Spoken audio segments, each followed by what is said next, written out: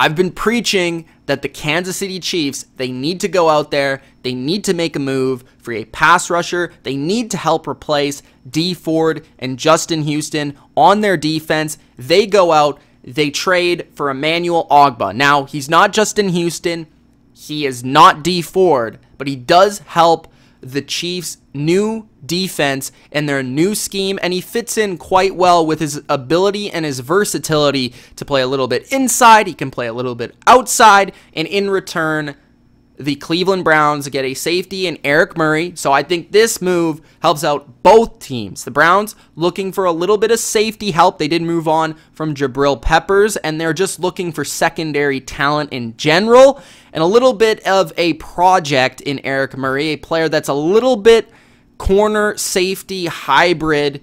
They bring him in from the Chiefs, and in return, Emmanuel Ogbah goes to the Chiefs. I think the Chiefs win this trade. I think Ogbah is a more talented player than Eric Murray, and he has a little bit more success under his belt. He's proven a little bit more in the NFL, but it's not by a lot. And I think both teams do help each other in terms of, okay, the Chiefs, we know they needed a pass rusher. We know they needed to help replace those big boys. And in terms of the Browns, we know that they brought in Olivier Vernon. They were looking to move on from Ogbah. He wasn't in the plans going forward. So they at least get a prospect, a guy in return that can help their roster potentially in a depth type of role. Now, Murray did play quite a few snaps last season for the Chiefs, being that the Chiefs had some injuries at safety. They had some pretty bad play at safety. And Eric uh, Eric Berry was out for a lot of the season last year for the Kansas City Chiefs. So Eric Murray has some experience in the NFL playing regular snaps. So that does help the Browns, a position at safety that they kind of didn't have a lot of depth at after trading Peppers. And still, I don't think it's one of their stronger positions whatsoever, but it's a position that's upgraded nonetheless. Now, Ogbah, they were willing to let go of because he wasn't going to be in a starting role. He wasn't going to start along their defensive line. But for the Chiefs, he's probably going to start or at least play significant snaps for them. Looking at both teams and both players, Emmanuel Ogbah, he is currently born in 93, 25 years old, so he's still basically in the prime of his career. He's had three seasons in the NFL, playing 16 games only once, 14 this past season, and 10 in 2017.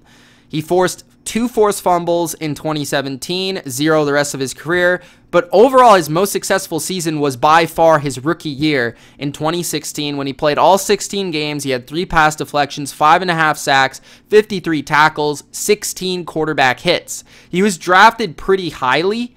And I think they early on expected him to do some big things.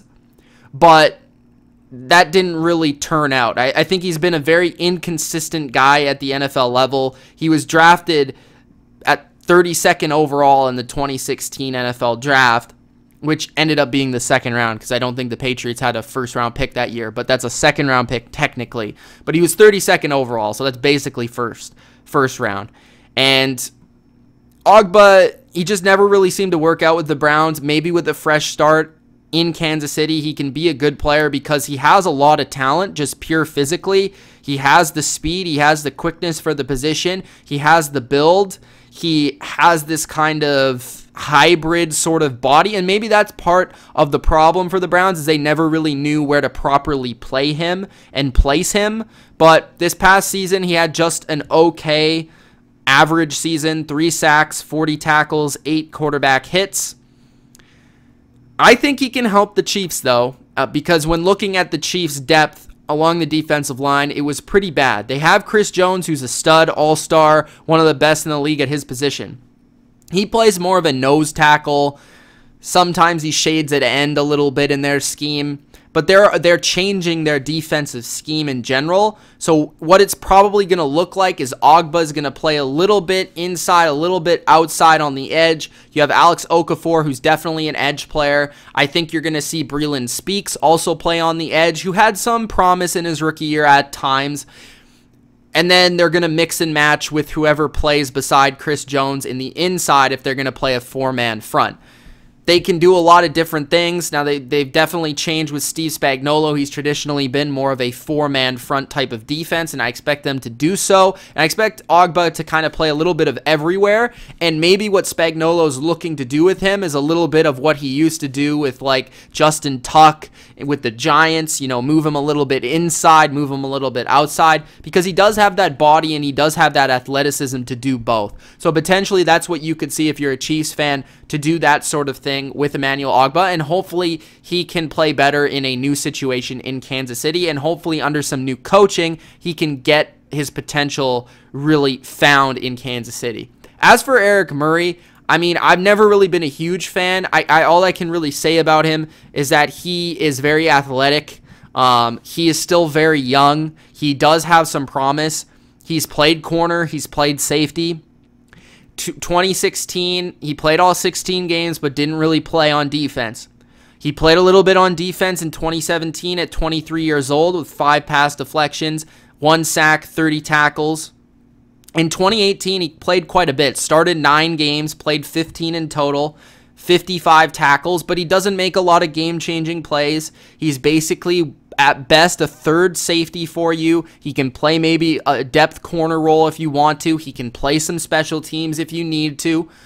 Looking at the PFF grades for each player, Ogbah's ranked 84th at his position, which is not good, and Murray was ranked 50th, which is like a depth player. So this is a depth move by both teams, but I think what the Browns are getting in Murray is a little bit less than what the Chiefs are getting in Ogbah.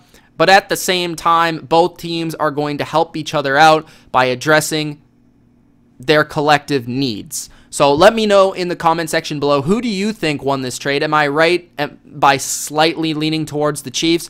Or do you think that the Browns actually won this trade by getting Eric Murray and letting go of Ogbah?